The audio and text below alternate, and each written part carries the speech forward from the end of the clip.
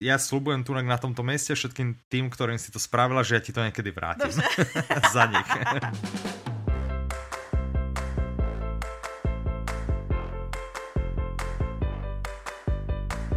deň, vítajte pri 93. diele podcastu Audi Novinky. Od mikrofónu vás zdraví Michal. A Petra.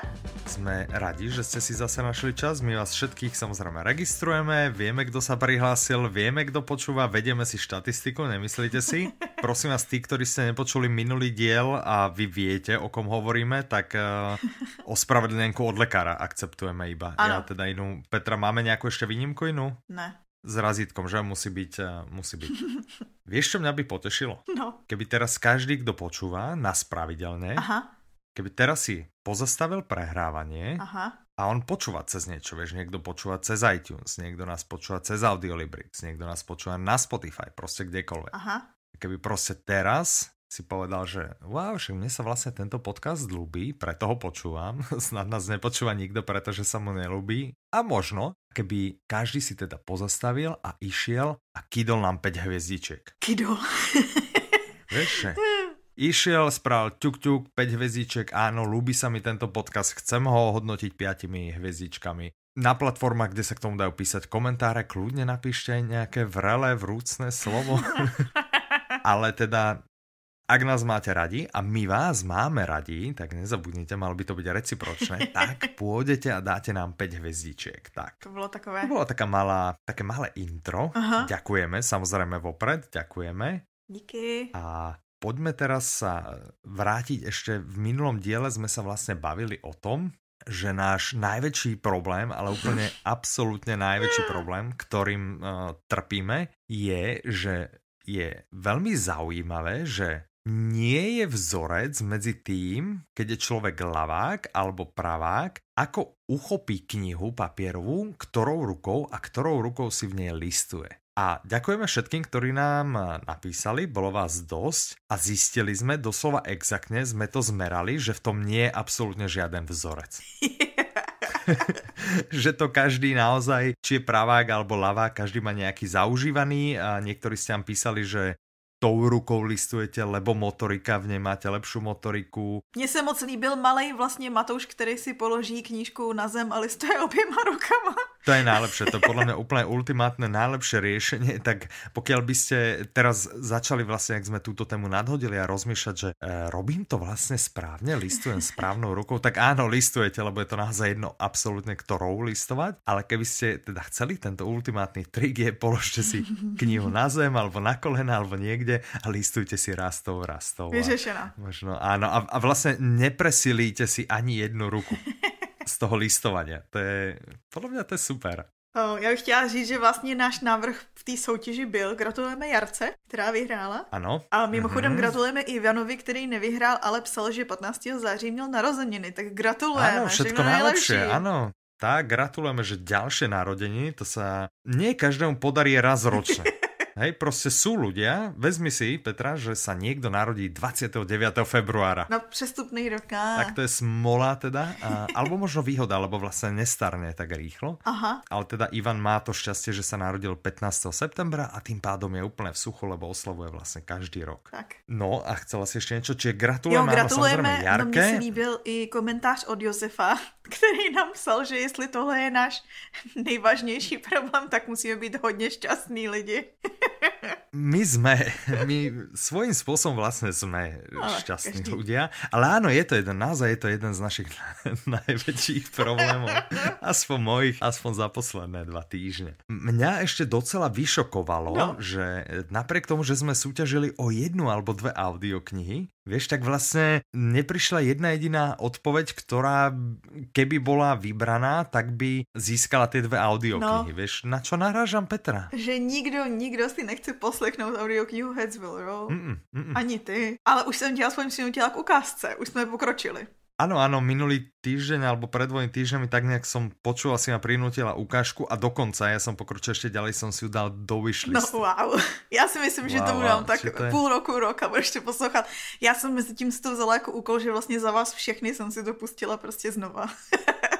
tak to si podľa mňa dobre spravila. Inak čo teraz počúvaš? Toto je to, čo teraz počúvaš, alebo máš rozpočované niečo? No, to mám rozposlouchaný jakože na pozadí, ne? Poslouchám uh-huh. Fantazy, uh. která se jmenuje, jak se to, to jmenuje? Já, já jsem z toho taky to jako, já jsem z toho taky úplně, nevím, co mám se sebou dělat. okay, okay. A nemůžu si vzpomenout, jak se to jmenuje, počkej. Uh-huh. Tak já zatiaľ povím. Co posloucháš ty? Ano, já zatiaľ povím. Já počúvam uh, Coffin Road. Aha, od ale v angličtině? Od Petra Maye? Nie. A, čiže Áno, ale volá sa to Coffin Road Aha. aj v Nemčine. Ja ty to posloucháš v Nemčine. Áno, ja to počúvam v Nemčine, to ja, ja to ešte pre istotu skontrolujem. Takže kým ty hľadaš názov, ja vlastne vyhľadám, no, že... moje, co já poslouchám, se jmenuje The Queen of Atolia. A ten druhý díl takový zlodějský. Uh-huh. Teď to bude vypadat, že mám fakt ráda zloděje, až se dostaneme k šesti vranám, ale každopádně to taky uh-huh, uh-huh. zloději. Víc o tom vlastně neumím říct, protože Jsi na začátku, alebo to nevíš? Ne, já jsem v druhém díle té série, ale nechci jako prozrazovat něco. Já se tady bojím, tam je strašně velký, na konci je tam takový obrat, takový zvrat uh-huh. a já ho nechci prozradit, tady na to jsem velký specialista, že vždycky náhodně rozsívám spoilery a vždycky mi někdo řekne, jo, děkuju. Uh-huh. Tak vlastně tak to, to nebudu popisovat. Je to super fantasy z zajímavého světa. Ale to sa ti stalo s viacerými ľuďmi, že ano. si prostě spravila spoiler alert? Dobre, tak ja, ja slúbujem tu na tomto mieste všetkým tým, ktorým si to spravila, že ja ti to někdy vrátím. Za nich. Dohodnuté. Já si pamatuju, někomu jsem vyprávila, uh, já, protože já se vždycky zeptám, jo, ty čteš tohle a už tam bylo ano. X, mhm. jo? A ten člověk, no, ne, Takéto je mi povedome, že sa také niečo odohralo aj medzi nami. Som si 100% neistý. No. Vravím, jedného dňa ti to vrátim. Ja už som si našiel tú knihu, čiže áno, v Nemčine sa to volá Coffin Road, ale má to aj nemecký názov Tüdliches Vergessen. Krásny. Takže to počúvam a vlastne možno to veľa z našich poslucháčov počulo, lebo to vyšlo aj v češtine, je to teda audiokniha od Peter Maya a v češtine myslím sa volá Umrlčí cesta, mm-hmm. tak to počúvam ja teraz. Mm. Tak uh, dobre, čo? No, ja už som niekde asi za tri štvrte knihy a mám z nej obrovskú radosť, chvála Bohu, že som ju čítal alebo teda počúval v češtine, lebo uh, rozumiem z toho asi tak jednej petine. Ale to je náhodou super, že se nevzdáváš. Druhej petine, druhej alebo ďalším možno dvom petinám rozumiem vďaka tomu, že chápem kontextu, zhruba si pamätám ten deň, nepamätám si úplne presne, lebo už to bolo, mm-hmm. ja som to počul myslím dva roky dozadu, alebo kedy na dovolenke. A to je správný postup. A, a zbytok mi tak ide, ale však to nevadí, áno. A mám z toho aj tak obrovskú radosť, počúvam to, kade jazdím, tak... Uh... To super. A je to po dlhej dobe audiokniha, kde si nezrýchlujem. Šokující. áno, áno, áno, áno. Skúšal som aj My proti vám. V Nemčine, no to nemohlo. To si áno, v Nemčine, myslím, že sa to volá Wir gegen uns, áno. A tam som uh, dokonca zvažoval, že či nespomali. Hej, ale to som potom vlastne sekol úplne, že, mm, že to je na mňa moc ťažké. A musíš postupovat k těm pokročilejším potom. Áno, no, no vieš, dospelá literatúra u seba nemá žiaden, že toto, ak sa učíte nemecky, tak toto sa hodí, ak ste na leveli niečo. Dospělá literatúra. No, takže tak. Čo mi inak pripomína, dneska mi došel e-mail, že mám sa ohodnotiť na webe, aby vedeli, lebo ja idem do toho Nemecka na štipendium. Ja, to, neviem, no, no, no, som no. vlastne spomínal. Sa mám akože spraviť si test hodinový na webe, tak eh, to som veľmi zvedavý, ako toto dopadne. Já myslela, že se máš ohodnotit ty, víš, že ti požádali vlastně o slovní hodnocení sama sebe. no to nie, našťastie nie. Uh, uvidíme. Ja na nejakom leveli som samozrejme v škole, kde chodím. Uh-huh. Je to teda level B1, som teraz idem si ukončiť dobrý. vlastne B1 a som zvedavý, čo mi z tohto testu vyjde. A už sa tak toho trochu desím, lebo ja s mojim šťastím sa mi stane. Buď padnem niekde, že to úplne zvo zvorám a pôjde to niekde, že A1 alebo nejaká takáto somarina, hej, a potom tam budeme jak úplný pako niekde medzi začiatočníkmi. Alebo s mojím šťastím, že niekde nebude možno niečo tušiť, natypujem, alebo neviem, jak ten test vyzerá. Jo, že vyjde ti to dobře. Teraz si predstav, že skončím nejakej B2 pokročilý smerom k C1 a šlak ma tam trafi v tom Nemecku, keď tam budem medzi ľuďmi, ktorí vedia fakt, že dobre nemecky. Ale to je ta lepší varianta. To je, že vlastně tvoji, eh, existuje teorie, že když vlastně se spojíš s někým jako lepším, tak on tě tlačí tlačí dopředu, že vlastně tebe motivují ty ostatní lidi, ať už je to jako, že, hmm. že chceš být jako oni, nebo že nechceš být tak jako... ja tam takých motivátorov budem mať hrozne veľa, lebo v Nemecku som počul, že všetci no. hovoria nemecky. No, no, no. Takže to už je samo o sebe motivačné, vedieť sa s nimi dohovoriť. Jinak na mě nedávno někdo zkoušel mluvit německy vzhledem k mýmu příjmení.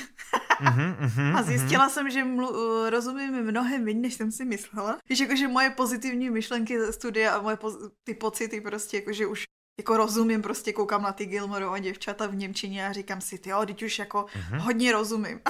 Pak na mě spustí ano. v telefonu a já a... Uh-huh. Vůbec nevím. No, stane sa, a nevadí. Nešťastná volba priezviska. No. Což shodou okolností dneska jsou to přesně čtyři roky, co mám tady to příjmení. Ano. Oslavuju výročí svatby nahrávání Maudy novinek. No super, tak to gratulujem. Gratulujem, zdravím teda Indru, šťastného manžela. Který si musí vyklidit z nahrávací místnosti. Áno, ten oslavuje ako? Išiel, išiel to do hospody aspoň zapiť, alebo... ten, na návštěvu u maminky. Áno, vidíš, tak uh, pekne. Dobre, to bolo také nezávislé klábosenie o hocičom. Mm-hmm. Poďme teraz vlastne k tomu, o čom by sme chceli rozprávať a to sú nové audioknihy. Nasypalo sa nám ich mraky, že ja ich vlastne neviem spočítať ani na prstoch dvoch rúk. No ne, no. Proste bolo ich veľa, áno. Čiže dosť ťažko sa. Takže vybrali sme tie najlepšie, tie najzaujímavejšie alebo také, ktoré nám nejakým spôsobom imponujú. Ano. Takže nech sa nikto neurazí, keď o tej jeho zrovna, o tej jeho obľúbenej alebo preferovanej nebudeme hovoriť. Jako vždy dáme link na web Audiolibrix, nejlepší ano. obchod s audioknihami do sekce novinek, kde si je můžete mm-hmm. všechny prohlédnout a pustit si ukázky. Tak, naklikať do košíka, zaplatiť, kupujte, kupujte, kupujte. Cokoliv budete chtít. Tak.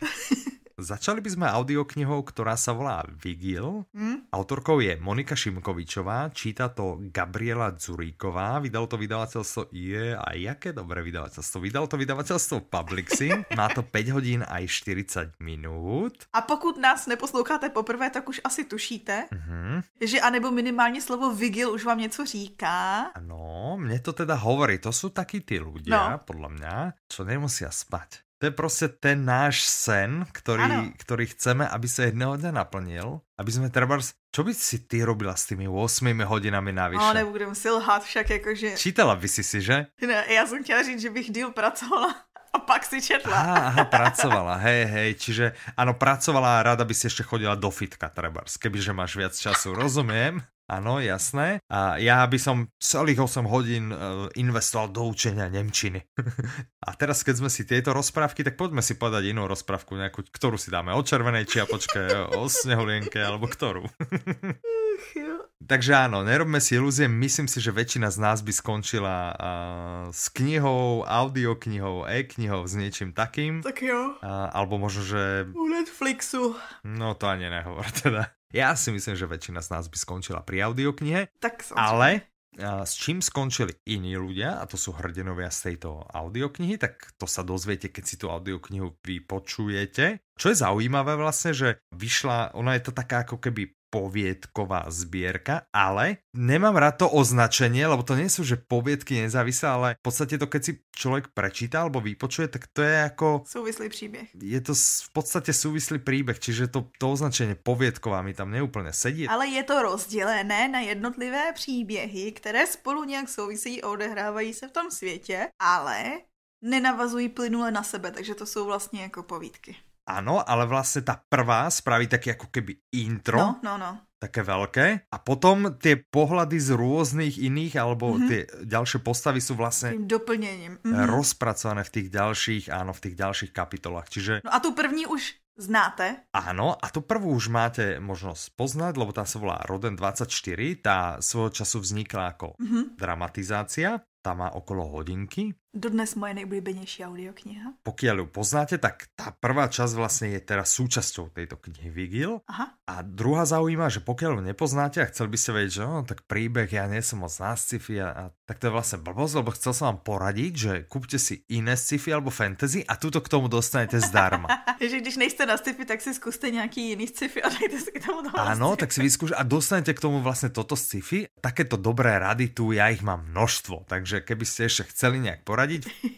V každom prípade, ak si u nás kúpite nejaké sci-fi, mm-hmm.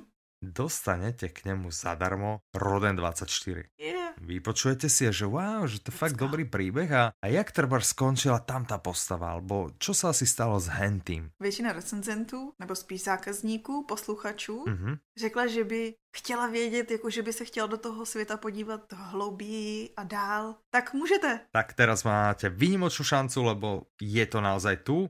No a o tom, že Roden 24 je pecka šupa, tak má skoro 4,5 hviezdičky. Čo je podľa mňa výborné a, a má desiatky hodnotení, čiže ľudia, ľudia ju naozaj posluchači ju príjmajú vrelo. A verím, že podobný osud postihne aj Vigila. Zaujímavá podľa mňa na tom je vlastne interpretka, lebo kto ju zo Slovákov pozná, Mhm. Já ji vůbec neznám. tak ona, keď hrala, ja, aspoň ja ju mám tak zafixovanú v seriáloch, že, že hrá také, čo ja viem, nejakú mafiánsku pipku alebo takéto, vieš, že, že proste úplne niečo, niečo iné a to, jak nahovorila túto audioknihu, podľa mňa je fascinujúce. Takže dáme do pozornosti audioknihu Vigil, určite vyskúšajte. Máš ešte niečo k tejto audioknihe, ty? Já jsem zkoumala. Mhm. Ono je těžký hledat nějaké informace o někom, koho znáš, to taky zvláštní. Áno, áno. Našla jsem na webu Moniky, že uh, jako malá psala básničky, ale že zjistila, že to teda asi nebude jako její osud psát básničky, že ani její první básničce o nějakým kosmonautovi vůbec nikdo nerozuměl. Áno, áno. A tu napísal, keď úplne Maličká, malá. Som, no. myslím, išla do nejakej súťaže. Aha. No takže potom objevila povídky, prózu a Áno, áno. to, to se vydařilo. lásku k literatúre majú v rodine. Monika Šimkovičová e, je aj Aha. maliarka a teda všeobjímajúca umelkyňa. Kto náhodou z našich poslucháčov počúva slovenský rap No. a nebodaj počúvate, ste počuli niekedy, že Strapo, tak to je jej syn. To je pikoška, čo? No. A tak tomu básničky musí jít, že jo, když rebuje. To, čo sa Monike nepodarilo s básničkami, sa podarilo jej synovi a jej sa podarilo napísať skvelú knihu, ktorá teraz vychádza v audioknižnej podobe, volá sa Vigil a nájdete ju medzi novinkami. A od slovenskej autorky by sme teraz mohli prejsť vlastne k českému režisérovi Trebárs. Jen takhle jakože skočit. Tak to úplne, že skočiť rovnými nohami. Ideme vám porozprávať o audioknihe, ktorá sa volá Nabarvené ptáče. Mhm. Pokiaľ sa pohybujete po vonku, aspoň minimálne v Bratislave, ale myslím si, že to bude asi I v Praze. tak e, neexistuje, že ste nevideli nejaký veľký billboard, ktorý láka na film. No jasně. Ten istý obrazok je použitý aj na obale tejto audioknihy a je to vlastne, myslím, je tam nejaká vrana Mhm. a hlava takého malého chlapca, Ano, jak trčí zo zeme. ano. A to ste určite videli a ste rozmýšľali, čo to asi môže byť a že išiel by som na to do kina. A my hovoríme nie, a nie, do kina nie, ďakujem, najprv audioknihu. A pokiaľ by ste chceli teda najprv audioknihu, tak jej autorom je Jerzy Kosinsky, Mhm. číta to e, Jiří Koller, Jan Kačer a vydalo to vydavateľstvo One Hotbook, má to 8 hodín 50 minút. A nebude to určite Není to žádná legrace. jednoduchá beletria. Pokiaľ chcete pohodu, vigila, pokiaľ chcete niečo Dejme tomu, že na zamyšlení, ano. no, hlbšie, tak v tom prípade by vás mohlo zaujať nabarvené ptáče, ktoré, o ktorom by nám chcela Petra porozprávať, tak videl som Petra, že si sa hlásila, kľudne poď. Z první lavice. Je to z, z období druhé světové války z Polska, Mhm. kde vlastně ty rodiče malého chlapečka ho chtějí vlastně ochránit před hrůzama války a tak z velkého města ho pošlou do vesnice, kde doufají, že bude v bezpečí. Ale asi už teď Mhm. tušíte, že to tak úplně nedopadne. Mhm, mhm. Okolo tady té knížky mimochodem, ona vyšla v roce 1965 a stal se z toho strašný hit. Mluvilo se o tom, jakože knížka století a jakože autentický svědectví. A on vlastně autor tehdy, když se řešilo to, že to je autobiografický, tak on tak jako chytře pomlčel a Mhm. nikdy nikomu nevyvracel to, že ve skutečnosti je to fikce mhm. A že to jakoby autobiografický prvky nemá. Takže vlastne nevieme. Že, ne, víme, že to je fikce, že to není autobiografický. Okay, okay. Ono kolem toho Mhm, bylo mhm, ještě mhm. spousta dalších skandalů, jako to, že to nenapsal, protože nemohl ovládat jazyk tady tím způsobem. A pokud si chcete zabřednout do černých vod internetu, tak, tak si vyhledejte nabarvené ptáče skandál a můžete zjišťovat. Ale věc se má tak, že to vlastně zobrazuje takový ty hrůzy války s kontrastem nebo v kontrastu s, s takovou tou nevinností. Nevinnosťou detskou, alebo akou nevinnosťou? Jak to říct? tu pro silný povahy. Mhm. No a na základě toho vznikl i film pro silný povahy. A proč se o něm tolik mluví je to, že vlastně tenhle film českého režiséra teďko si odvezl z Benátek tu studentskou cenu UNICEF a Česká republika ho vlastně vysílá, dejme tomu, jako svýho kandidáta na Oscara. Mhm. Šance sú. Já jsem třeba nevěděla. Kto vidíš ty jako filmový analytik, tak musíme budovať, musíme budovať ten Aha. image, že rozumieme všetkému aj filmom. Takže ty ako okom filmového kritika a sleduješ situáciu ohľadom Na Oscarov. mě velice působila ta juxtapozice um, toho, té nevinnosti. A... No ano, a kamera dobré? velice citlivá a um, Mhm. nemám k tomu další Atmosféra komentář. zachytená správne? Mhm, mhm. Mhm, Dobre, tak to je super. Tak eh, budeme držať filmu samozrejme palce. Ano, Ešte raz pre všetkých, ktorí by mali záujem, audioknihu. kniha, respektíve audiokniha a potom až zvažujte film. Nie naopak. Ano. Berte si príklad z nás. Okrem filmu To, ktorý som videl skôr než knihu, ale nemám na to teraz dobrú výhovorku, ale ja občas môžem a poučte sa z mojich chýb. Doteraz toho lutujem. Aha, Nelutujem, ale akože lutujem. dobře, dobře. Od tejto, od tejto realistickej hrôzy, hej? Čo keby sme išli ešte Nějaký další hruze. k niečomu tiež hroznému, ale už to treba nebude možno ešte tak realistické. Možno, že by to bolo nejaké vymyslené, vyslené beletria, Aha. nejaká taká, ktorá by možno mohla mať aj detektívne črty. Mám pro tebe dokonalou kořist. Wow, dobre, tak pobavme sa o audioknihe Dokonalá kořist. A Autorkou je Helen Fielcová, číta to a, Jan Šťastný, Mhm. má to 16 hodín. A jednu minutu. Aj jednu minútu. A vydalo to vydavateľstvo Kniha Zlín. Niekomu možno už to meno autorky niečo hovorí. Ah, Helen dokonalý, Helen Fielcová, no. kde som to už počul? Hm, hm, hm. A ja teraz napoviem, dobre, tak eh, chcete hádať, to sa mi ľúbi, že nechcete proste mať všetko naservírované ako na strebornom tanieri. Tak čo keby som povedal Luke Kalana? Já vím, já vím. Mm, už, už. Počkaj, počkáme na niekoho iného. Dobre, čo keby som povedal obálka, motýlik a na ňom, že dokonalé stopy. Mhm. Já, já furt vím. Hmm, tak už je to jasnejšie, áno, že sa jedná o sériu, Uh. ktorej je toto druhý diel. Wow. A je to teda séria a, s inšpektorom Lukom Kal- Kalanahom, alebo Kalanachom. On je Scott, takže to bude taky ten Áno, kalanach. s- Kalanachom. Áno, áno, presne. Odpluj si kľudne a počkám, potom to donahrávame.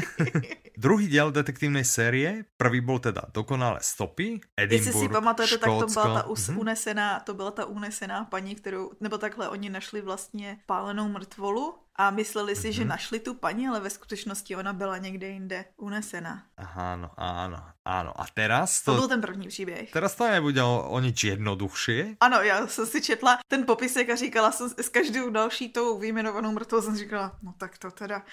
Takže má se to tak, že Ano. Edinburgh se stává Mhm. vlastně takovou metropolí hrůzy, protože Mhm. nejdřív na nějakém festivalu někdo ubudá charitativního pracovníka, pak zas najdou Mm, Prečo by to robil charitatívneho pracovníka, že? pak zas najdou vlastní šalou uškrcenou učitelku z mateřské školky. Toto je podľa mňa vrah, ktorý si vyberá také ako pekné povolanie. No, to je vrah, který si vybírá oběti Aha. stylem čím nevinnější, tím lepší. Áno, tak to znie. A to som nečítal na anotáciu, to Ha, neviem. Ale to na mňa to tak pôsobí, že charitatívny pracovník, učiteľka materskej školy. Ešte mi povedz, že strieka nejaké nápovedy ako graffiti a padnem úplne.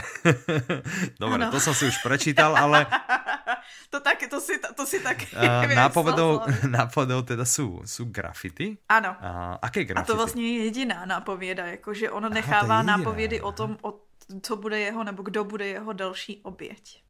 Mm, A to je všechno, co A ide teda, OK, a to tu teraz čítam, že ide po nevinných obetiach. Wow, wow, wow, No. wow. Mm, OK. A čo by si mi povedala o Helen Fieldsovej? Helen Fieldsová pracovala 13 let jako právnička a jakoby při kriminálních Mm. případech, takže vlastně zkuše, osobní zkušenost z reálných případů má a Mhm. zároveň, když jako vyrůstala a její oblíbený žánr celý život bylo krimi, mystery, ty thrillery, ale takový ty toho nejhoršího rázu, jakože třeba Dean Koontz, ale i Kinga měla ráda. Mhm. Ale zajímavý je, že vlastně když to začala psát, tak teďko říká, že teď už ve volném čase nemůže číst ty thrillery, že jako má člověk vždycky jako hranici toho, co snese a ona strašně ráda píše o tom jako nejhnusnějším, že spousta recenzí na ten první díl byla i v tom, že jako Hmm. uf, tak tohle je na mě moc. A ona na to reagovala, že no, tak to byl přesně můj cíl. Áno, áno, a ešte povedal, a to bol slabý odvar. Ano, ještě si, ještě si přidáme. Že pritvrdíme, pritvrdíme, usadte sa poriadne, pripútajte sa, dajte si pásy, lebo naberáme. No ano, po- pod, pod nadpis téhle audioknihy je Poteče krev. Aha. A to ti asi tak nějak jako říká všechno. Mm, Tiec môže krv hoci kde, že to nemusí byť strašidelné. Jo, takhle. Napríklad ja sa snažím raz za štvrť roka ísť, aby mi tiekla krv.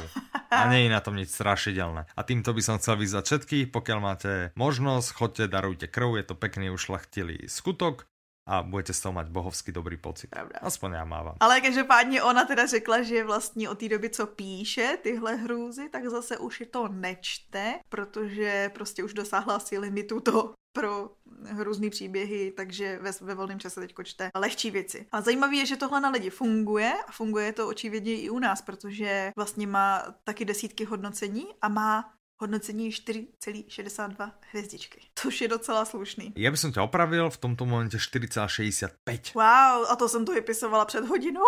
Áno, áno, áno, takže ešte pribudlo nejaké, ešte nejaké 5 hviezdičkové hodnotenie, ha, zaujímavé. Tým by sme uzavreli takú ako prvú dávku audiokníh. Pôjdeme za chvíľu do druhej dávky audiokníh, ale ešte predtým, ja si neodpustím, lebo ja viem, že uplynulých pár týždňov bolo v znamení toho, že sa u nás pracovalo oveľa viac, Aha. než treba inokedy. Až na mě, já jsem jenom koukala z okna. No ty si akože občas niekomu povedal, toto urob, hento urob, tamto a, a podobne. Dobre, fair enough, z pozície šéfa môžeš si to dovoliť. tak a, a teraz manažovala si vlastne celý tým. Teraz mi povedz kvôli čomu, že čo sa také veľké deje, čo sa veľkého udeje a kedy sa udeje, lebo ja o tom vlastne moc neviem. Ja som našťastie dostal úlohu, že mám byť v nedelu k dispozícii, že bude nejaká práca aj pre mňa. A ne, nemám z toho radosť, samozrejme nemám, že na mňa navaluješ um, prácu, ale dobre, povedal som si, OK, no tak keď No, Petra chce, no tak raz za čas môžem niečo, niečo spraviť pre ňu a tak mi povedz, čo sa deje Budeme vlastne. mít narozeniny. Uh. Uhuhu. Už nám bude sedm? Už není cesty, jak se vyhnout škole. Hm. To už, to už áno. Čiže um, čo, celý minulý týždeň ste boli zháňať prepisky, pera, peračníky, aktovku. Vlastně tu školu tu, to necháváme jako hezky v budoucnosti. My jsme připravovali oslavu, protože když máš narozeniny, tak to musíš oslavit. Hmm, dobre, tak uh, povedz mi o tortičkách a, a Čepičkách a tak. Naše oslava ale má balonky, mimochodem. Hmm, dobré, v znamení balónikov, to začíná to dobré, mňa. Poznejte, na co odkazujeme, na kterou audioknihu odkazujeme eh, naším heslem, že za tímhle balonkem se nemusíte bát jít. Což mimochodem byl odkaz, který ne všichni jsme pochopili. Jasné, ja, ja ho treba schápem. Ak sa teda bavíme o audioknihe, to. Ano, po, teď já jsem chtěla říct, že jako po nedávný návštěvě kina. Áno, áno, áno, presne tak. Predtým by som možno, no možno z obalu by som vedel asi, ale teda, OK. Čiže bude tu v hlavnej roli, alebo z jednej z vedľajších bude balónik, jasné. Balonek jenom doprovází tu akci, ale každopádně hlavní role jsou slavy. Navodzuje tú atmosféru. My oslavíme ve veľkým. Ja na zlavy počujem, tak povedz mi, jasné, a kto by sa nepotešil nejakej peknej, príjemnej uh, zlave? 50% ti zní dobře? Eh, 50% mi znie viac než dobre, dokonca by som povedal, lebo ja som zvyknutý, treba, že ako člen klubu mám bežne zľavu 10-15%, Teď budeš mít 50. podľa toho, či som práve na balíčku Minimus alebo na balíčku Maximus, ale teraz 50 mi znie trošku lepšie. Ale to nebude asi na všetko, hej, že nemôžem teraz proste... Ne, ale vybereme top tituly, ty nejlepší. Není to tak, že bychom to dali na nějaký stařinky, na nějaký něco, co nechcete poslouchat. Na ty nejlepší tituly vybereme a budeme je, pozor, po 12 hodinách budeme zveřejňovat novou dávku. Zase po dalších 12 hodinách novou dávku. Hm, čiže pôjdeme v 12-hodinových cykloch. Začneme v úterý na oběd. Ono to niekedy začne. OK, v útorok na obed. Čiže útorok 24. Áno. septembra, dobre tomu rozumiem. Na obed, to je pre mňa ten prvý štartovací Áno. bod, že naobedujem sa, proste dám si niečo dobré a teraz, že OK, OK, mám rád zlavy, Aha. a tak idem na Audiolibrix, idem sa pozrieť a tam čo ma teda bude čakať. První várka audioknih. Ano, jasně. všude uvidíte balonky. Předem jste, Dobré, byli balóniky. předem varováni. Jasné. A bude dávka nejaká množina audiokníh. Hej, nebudú to teda všetky, čiže bude to nejaká množina audiokníh. Povedzme možno 50 alebo... alebo... Přes 70, no. Tak proste, áno, dobre, ok. Proste poctivo vybrané, také, ktoré vieme, že vám sa ľubia. Áno. Hej, vieme, že ich máte radi, áno. že si ich radi dávate do vyšlistu, že si ich prajete a tak ďalej. Čiže aby sme vám spravili radosť. A máte 12 hodín na to si vybrať z té první vlny. Čiže do polnoci, áno. hej? Čiže ešte stále môže byť, že dojdem z práce domov, nestiel som cez obed som v práci normálne aj pracoval, najedol som sa, potom som zabudol a tak. Čiže došiel som domov, hej, proste niekde o 6. o 7. sadol som započítať, že wow, toto chcem, toto, toto som chcel a bum, bum, bum, bum, bum, čiže naklikám si to, ok, kúpim si to, dobre. Ano. Ak náhodou nestihnem, čo potom? Som úplne akože smola, hej? Mám na to tých 12 hodin. Ještě nejsi úplně v háji, protože Aha. po těch 12 hodinách do, do konce té akce, což bude ve čtvrtek o půlnoci, mm-hmm. což je den, kdy máme narozeniny, mm-hmm. tak budou ty audioknihy ve slevě 25%. Aha, čiže ja mám vlastne 12 hodín na to, aby som bol dostatočne akčný. Áno. V tom 12 hodinovom slote sa dojdem pozrieť keď si poviem, že možno, alebo neviem a, a keď nedojdem, hej, hlavne teda keď nedojdem a dojdem 12 hodín a 5 minút na to, takže je, síce som to prešvihol, ale ešte nič nie je stratené, lebo ešte stále vlastne mám možnosť si to kúpiť s peknou 25% nozvou, ktorá je stále väčšia ako 10 alebo 15. Nehledě na to, že tou dobou už bude nová várka audioknih se slevou 50%. Aha, tam budú ďalšie, čiže ďalších 50 alebo 60 alebo 70 no. audioknih. Aha. Áno. Takže zase ťuk, ťuk, ťuk, ťuk, ťuk, bum, do košíka, hú, ale kúpiť teda do konca tej Áno. vlny, nazvíme to vlna, alebo ako to voláme? My tomu říkáme vlny, teda já tomu říkám vlny. vlny. Hmm. Takže ve vlnách. Dobré, dobré. Tak, a takto to vlastne funguje. Čiže vždy to, čo bolo v 50% spadne do tej 25 a tam je to do konca akcie. Áno. Jedinou výnimkou teda je ten posledný slotík, lebo ten posledný slot vlastne, Áno. kde je 50% a tam to buď stihnete, alebo už nestíhne. Zase na druhou stranu, proč byste se zlobili, že něco nemáte za 25, když to můžete mít za polovinu? Presne, ja si, ja si tiež myslím. OK, čiže prvý slot, to je útorok ano. od obeda, čiže ráno my ešte proste vyspávame oslavu, hej, ktorú my si možno spravíme skôr, že ešte tak akože z vesela a teraz o 12. to prepukne. Aha. Beží to do polnoci, potom 25. to znamená, to je streda, od tej polnoci do obeda, obeda to je vlna číslo 2. Mm-hmm. Od obeda do polnoci to je vlna číslo 3. Hej, zatiaľ správne tomu rozumiem. Áno, počítaš. Potom sa preklopí deň na ďalší deň, čo bude? Což je náš narozeninový deň, áno. To je náš narodeninový, čiže 26. septembra a zase od polnoci do obeda Aha. a od obeda do polnoci. Čiže 5 vln v každej vlne desiatky audiokníh. A je možné, říkám to tak hloupě, ale že v součástí těch vln budou i úplné novinky. Aha, tak to by bolo úplne super, že predsa si úplnú novinku rozumieš. A že vieš si predstaviť, že by niekto z nášho týmu proste išiel za vydavateľom a povedal, prosím vás, narodeniny.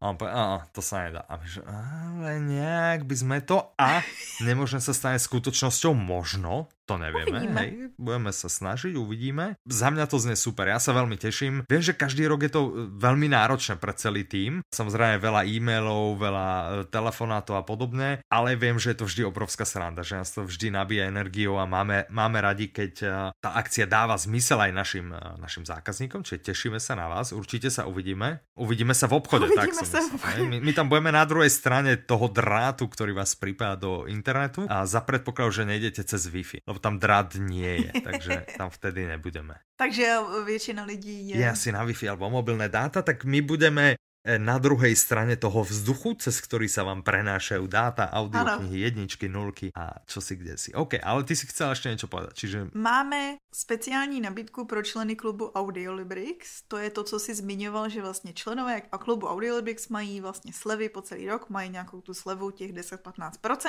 A mm-hmm. protože máme rádi, máme vás rádi, členy klubu Audiolibrix. Já ano. Tak pro ně máme ještě něco navíc a to je soutěž. Hlavní cenou té soutěže jsou sluchátka Sennheiser. Čtou se Sennheiser? Sennheiser? Já si myslím, že to je německá značka, či to bude asi Sennheiser. Ano.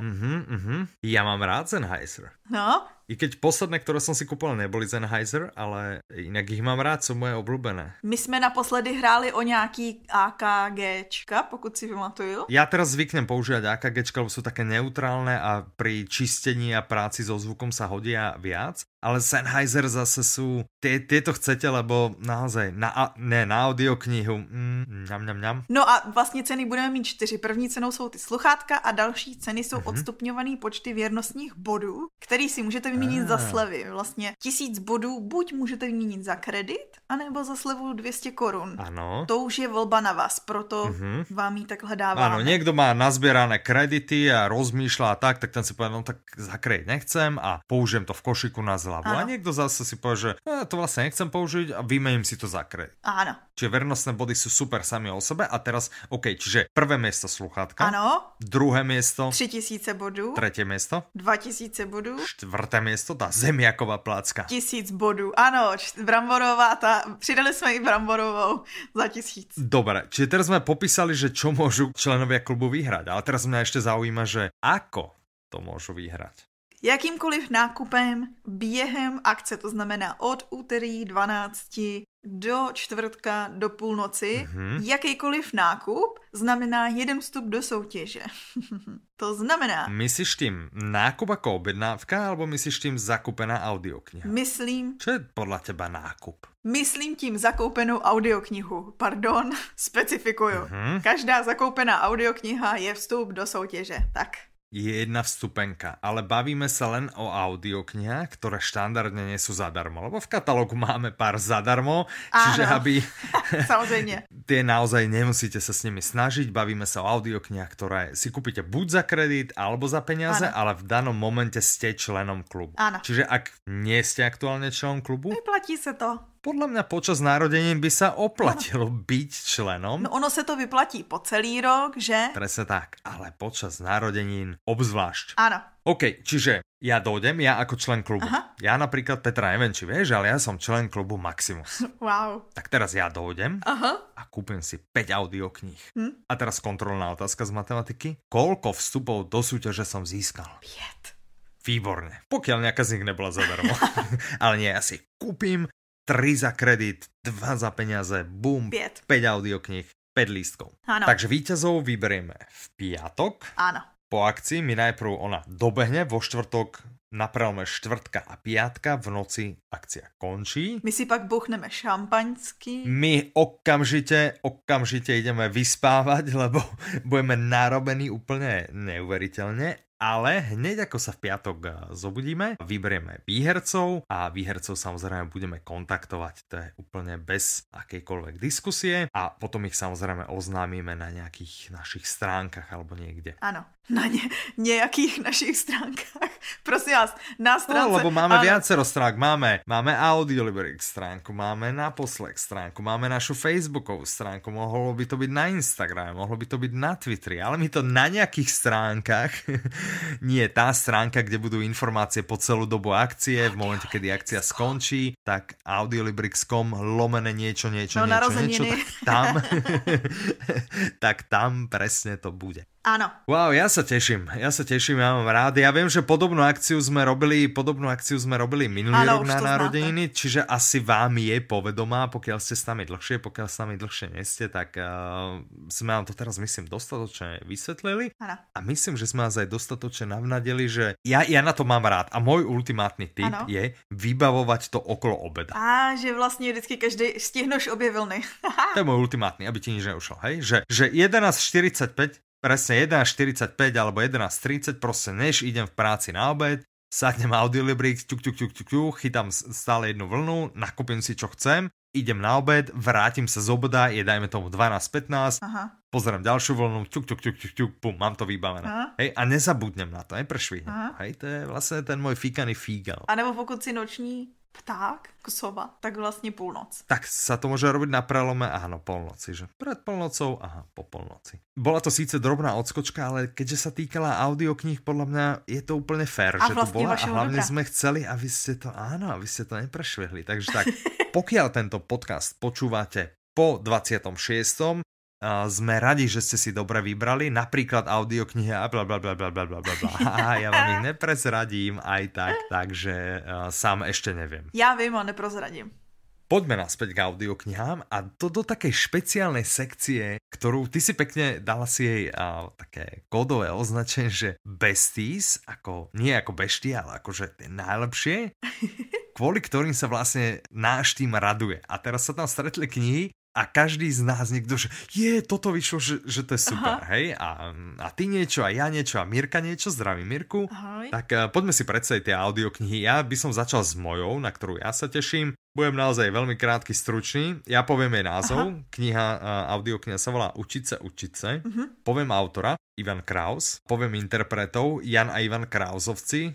Fónia vydavateľstvo, hodina 30 minút, myslím si, že viac hovoriť nemusím. Já jsem si taky říkala při přípravě, že nemusíme říct víc. Tak uh, absolútne je to štandardné čítanie z kníh Ivana Krausa, čítajú to bratia, je to ohromne vtipné, ja som to ešte nepočul, ale som 100% presvedčený o tom, že je to vtipné. Ja sa teším. No. Predchádzajúce diely boli všetky vtipné, boli super a učiť sa, učiť sa docela uh, navráva, aká bude asi téma. Áno. A téma predpokladám, že bude niečo so školou. Áno. V dobí čas to vychází. Mám z toho, áno, áno. A mám z toho obrovskú radosť a dávam uh, slovo tebe, aby si predstavila, z čoho sa raduješ ty. Aha, to bylo fakt rýchle. Áno. Ja sa raduju z audioknihy 6 vrán. Oh, dobre. Mňa čo zaujalo na tejto audioknihe, jak som si čítal prípravu tvoju. Áno.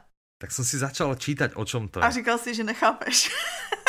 že absolútne, že jak sa môžeš tešiť z knihy, kde proste čítaš anotáciu a v tretine absolútne sa stratíš a v druhej tretine vôbec netušíš, o čom bola prvá tretina, že čo vlastne čítáš a je to tak zamotané, že vlastne je to absolútne... To som zamotaná, ja ti to vysvětlím. To, co si četl, okay. není anotace, ale můj popis toho a to, to, co do toho vstupuje, je faktor, kde já jdu někomu doporučovat knížku, kterou mám ráda a hned se v tom zamotám a vždycky to zkazím. Tak to je to, co se tady děje znova. Takže pojďme na to. Aha, jasné. Tak ja, ja by som mal pre teba radu zadarmo. Aha. Takýmto spôsobom nikomu audioknihu nepredáš. Zoberať oficiálnu anotáciu, ne, neprezrať viac, než je nezbytne nutné Aha. a skús to proste profesionálnym textom, lebo ja normálne ťa vidím, jak ty 6 vrán, 6 vrán, rýchlo, čo toto, toto, toto, toto, to sa tam udeje, toto, ešte toto, to si musíte vypočuť. A podľa mňa aj toto stojí za tým, že audioknihu, ktorú si odporúčala v minulom diele, nikto nechce. A já to vím, že to tak je. Však taky proto většinou lidem doporučuju knihy Zdravím svého manžela ano. a oni si je neposlechnou dva roky, až dokud Michal nepřijde a neřekne, tohle je dobrý, to si pusť. A si to pustí. Tak áno, lebo uh, proste to je tá autorita, hej, že... A, a druhá, vieš, keď na niekoho nachrlíš 150 odporúčaní, hej, a 148 z nich je navyše úplne mimo jeho žáner, ale úplne mimo jeho záber, tak vôbec sa nedivím, že, že tie dve dobré, ktoré si človeku odporúčila, ho absolútne nezaujíma, lebo už, už ti, to je jak ten vlk a tie ovečky a podobne, a to je jedno. V každom prípade, audiokniha sa volá 6 vran. Autorkou je Lee Bardugo, mm-hmm. čítajú to Teresa Dočkalová, Matouš Ruml, Veronika Kubařová, Pavel Neškudla, Michal Isteník, Marek Holý a Martin Finger. A čo je hrozne zaujímavé, je, že e, Veronika Kubařová není len tak Kubařová, ale je Khek Kubařová. Áno, tak e, to je predpokladám, že má po manželovi. Pravdepodobne. A že si nechal ešte svoje. V každom prípade vydáva to vydavateľstvo Fragment, má to 17,5 hodiny. Áno, krásný, co? Krátka verzia, 6 nebezpečných psáncov, jedna beznádejná lúpež. A teraz skús tú tvoju, skús tú tvoju, schválne daj tú tvoju verziu, ktorú si dala do prípravy a uvidíme, jak to zaberá. to, to vezmu si profesionální anotace. Takže nacházíte se ve městě Ketterdam, jo, v přístavním městě, kde se začne šířit nějaký sérum, nebezpečný sérum. Víc o něm říkat nebudu, protože tam si se podle mě přesně zamotal. Takže. a tady místnímu zlodějčkovi někdo nabídne prostě job, aby zachránil vědce z nejstřeženější budovy v celé zemi, v Ravce. A on mm-hmm. to vlastně přijme, protože to je takový ten úkol, co se neodmítá. A on vlastně se staví partu takových šesti psanců, mm-hmm mm-hmm. který prostě se vydají vloupat do téhle střežené budovy a zachránit toho vědce. Ne, nedělej to. Nie, to je to super. To je jedna z nejlepších zápletek, proto Dennyho parťáci jsou takový úspěch, kde máš prostě partu nějakých lidí, co jsou, dejme tomu, že ne, nebo jsou na okraji společnosti a jdou udělat nějaký zločin, prostě je to plánování a furt se tam něco děje. Všechny postavy jsou krásně vyhreslený a tohle se ještě odehrává v, ve fantasy světě, který je založený na ruským folkloru. Uh. Takže je to hrozně zajímavý, ten svět je zajímavý, ah, ty okay. postavy jsou krásně mm-hmm. vykreslený, ten děj furt graduje, mm-hmm. to perfektní. Mm-hmm. Super, super. 5 peťuliek z 5 tomu dávaš, hej?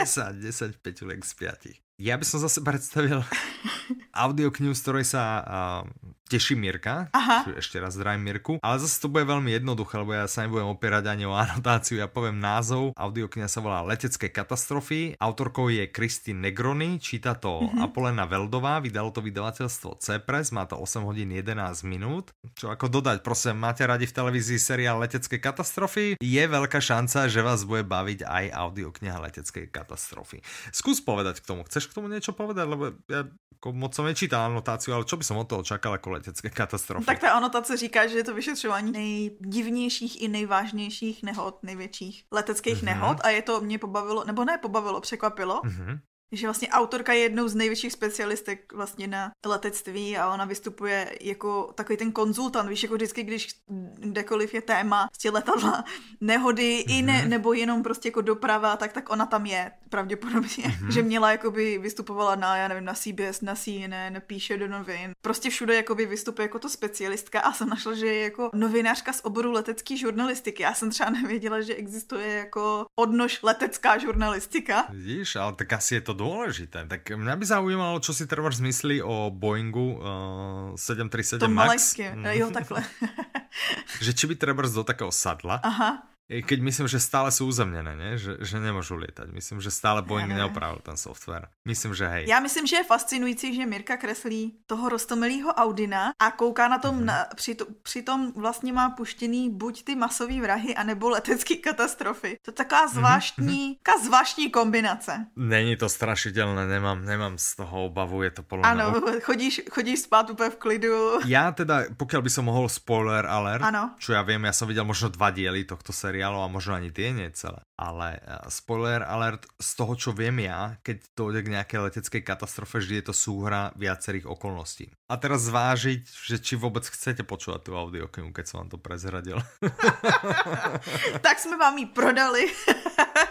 tak, presne. Nie, naozaj, a pokiaľ máte radi takto záhady a, a katastrofy, je, je to zaujímavé. No ona vlastně dělá to, že zkoumá hodně to, nebo to jsem se dozvěděla z té anotace, že zkoumá ten lidský faktor. Vlastně jaký má vliv lidský faktor na, na ty nehody. Ja som teraz z okolností asi pred tromi, štyrmi eh, týždňami čítal vlastne také vyjadrenie českého pilota, mm-hmm. ktorý vlastne hovoril o tom, jak každý let je vlastne uh, veľký tlak na pilota v zmysle toho, že počas toho jedného letu hrozne veľa situácií nastane, kedy pilot musí sa rozhodnúť a vybrať si z viacerých volieb a voliť vlastne medzi bezpečnosťou a ekonomikou. Mm-hmm. Hej, že treba sa, či pristane na letisko z jednej strany, aj keď treba z vietor, neviem čo, neviem čo, velí skôr, aby pristal z druhej strany, ale keď bude pristať z druhej strany, tak si musí nadbehnúť, čím spáli viac benzínu a tak ďalej a tak ďalej. A písal to nejaký český pilot na margo toho, čo sa vlastne stalo, keď z nejakého gréckého ostrova letelo, a nepamätám si z ktorého, letelo lietadlo do Prahy Aha. a kúsok po vzlete im odišiel celý motor, Aha. čiže ďalej leteli len s jedným motorom a v Prahe teda šťastne pristali, našťastie, a potom vlastne sa zdvihla, zdvihla však v Čechách to bolo, tak asi by si možno mohla aj tušiť. Uh, ne. A bola to taká veľká afera, že sa vlastne uh, hovorilo, že taká štandardná procedúra je, že mal pristať, napriek tomu, že to evidentne nie je asi až také nebezpečné, ale že mal pristať na najbližšom letisku, čo boli Atény a, ale on prostě na tom uh, na Atenách nepristal, letěl s tím až do Prahy. No. Myslím, že to byl travel service, zdravíme travel service. Já tyto příběhy neposlouchám, nečtu, nezajímají mě, protože potom už bych do letadla nikdy nevstoupila. Já jsem to len tak nějak postral právě kvůli tomu, že letělo z Greckého ostrova, že ježišimária, že prostě, a že do Prahy, že jo, jo, jo. Nevadí, a moja posledná dovolenka našťastie bola s normálnou leteckou spoločnosťou, takže zdravím Austrian s nimi sa teda ja moc nebojím lietať, ale uh, tak keby vás toto zaujímalo, ten článok, uh, to vyjadrenie pilota, nalinkujeme Aha. k tomuto podcastu tiež, keď už o tom hovoríme, tak to nalinkujeme možno. Bolo to zauj- pre mňa to bolo zaujímavé, mm. on, uh, ten pilot vyslovene popisoval jeden celý let, nebol to komerčný let, že mal proste súkromný. A psal to jako anonymně, nebo už dostal výpověď, nebo jak to je? Myslím, teraz neviem, či to písal anonymne, ale hovorím, že to nebol akože pilot nejakého takého Boeingu s Aha. 200 ľuďmi, ale proste, že menšieho lietadla, ale stále osobného, ktorý proste vozí súkromného letu nejakého. Hej? A písal to napríklad toho súkromného letu. Tak to bola zase drobná odbočka. Mm-hmm. Ešte máme jednu, z ktorej sa radujeme vraj všetci. Tak minimálne vím, že ja a Mirka jo. OK, tak minimálne vy. Je to audiokniha, ktorá sa volá Jeď dál. Aha. Autorom je Austin Kleon a číta to Ondřej Halámek, vydalo to vydavateľstvo Jan Melville Publishing, má to hodinu 48 minút. Yeah. Ja keby si mi povedal, že jeď dál, tak ja poviem, že modrý obal. No, áno. Vieš, mám tu asociáciu, že, že viem a je až neuveriteľné, koľko tých kníh sa okolo mňa myhlo. Vieš, tých papierových, lebo myslím, že ty si dostala... Alebo Já jsem získala nejak... tu uh, takovej ten na posouzení vzorek loni ve Frankfurtu, ano. Áno, a, a nejakým spôsobom ťa Mirka zlomila, aby si jeho požičala. potom to mala niekoľko mesiacov a potom uh, si to ona uh, objednala ano. a z hodou okolo si to objednal ešte aj Ivan a doniesol vlastne Mirke ten vytlačok, takže tých vytlačkov, z tých vytlačkov sa v mojom byte zrazu pohybovali asi tri naraz, hej? V každom prípade vyšla potom česká verzia. Austin Kleon je asi známy, najznámejšia predpokladám, že je kradiakov umelec, mm-hmm. to bolo myslím niečo, čím sa tak...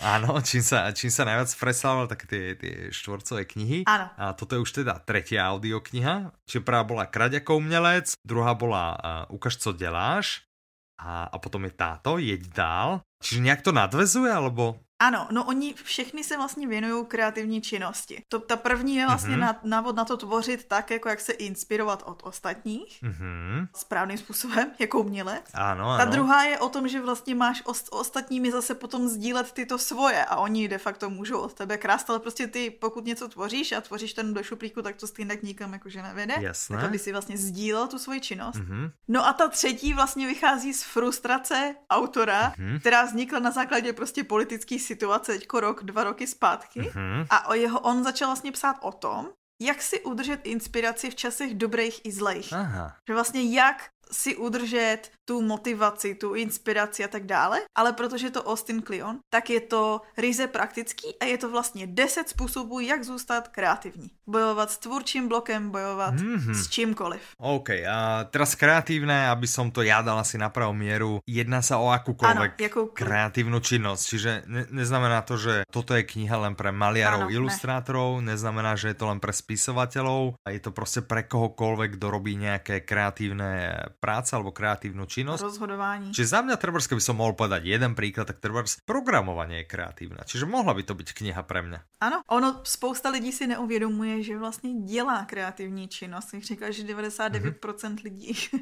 dělá kreativní činnost a spousta to ani neví. Ono i rozhodování je kreativní činnost. Tak sa zamyslite nad svojou prácou, že či vlastne tá kreatívna zložka tam nie je nejakým spôsobom veľká. A pokiaľ mávate blog, mohla by vám pomôcť táto audiokniha. A nemala táto aj nejaký taký podtitul alebo niečo také, že, že som napísal knihu, ktorú by som si bol chcel býval prečítať alebo niečo takého, či mýlim sa? Neviem o tom. Aha. OK, niečo sa mi marí, že som v súvislosti s touto okay. audioknihou videl niečo, že uh, je to vlastne kniha, ktorú si chcel prečítať, ale nebola napísaná. No on to psal, jakože ten, ten ano, ten princip byl, že to psal mm-hmm. kvůli tomu, že sám cítil potřebu jakoby někde získat tu motivaci. Mm, áno, tak potom toto som asi áno. Dobre. Mě třeba zaujalo to tehdy právě, jak si říkal, že jsem získala ten výtisk recenzní a já jsem si bavila mm-hmm. s jeho vydavatelkou, tehdy právě v tom Frankfurtu. Mm-hmm. Oni byli hrozně překvapení, že vyšli u nás tyhle knížky jako audio, že vlastně v zahraničí, v angličtině v originále to nevyšlo jako audio. Mm-hmm.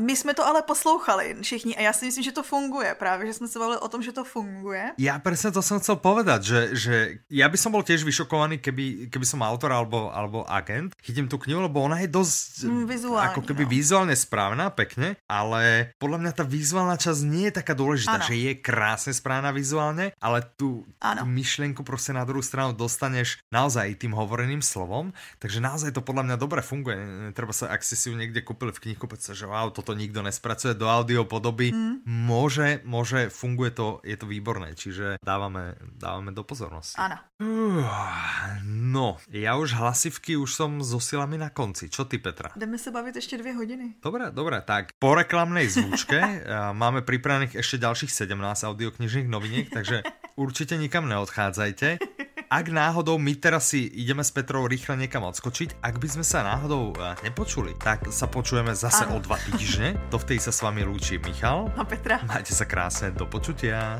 Naslyšenou.